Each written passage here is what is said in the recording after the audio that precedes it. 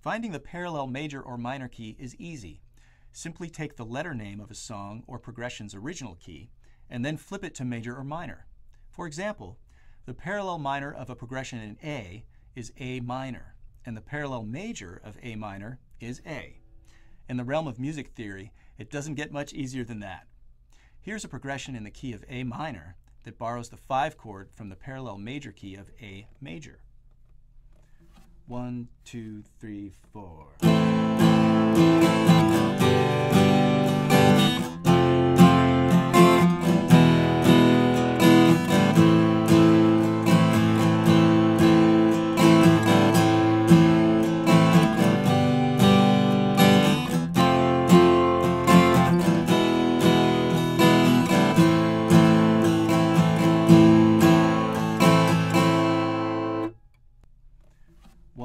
Two, three, four.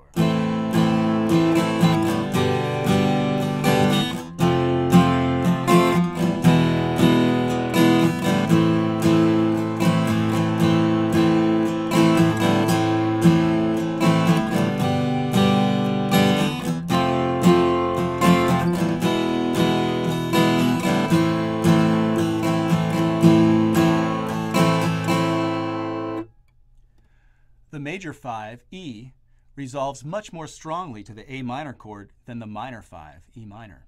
And you can hear the difference if you substitute an E minor for the E major chord in this progression and compare how the two resolve to A minor.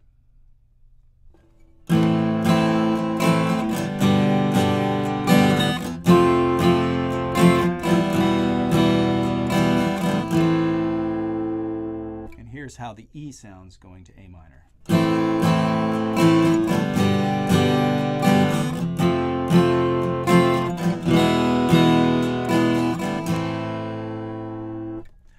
Artists like the Beatles sometimes took this a step further by borrowing two chords from the parallel major. Our next example switches the A minor at the end to an A major chord, similar to how the Beatles played I'll Be Back.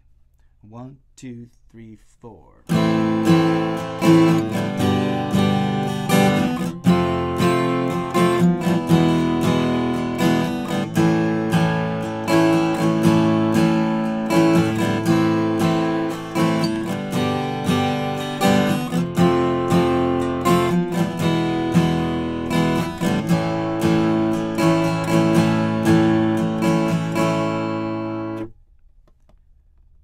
Swapping between major 1 and minor 1 chords is less common than using the major 5 in a minor context, but it's another cool trick to have in your bag.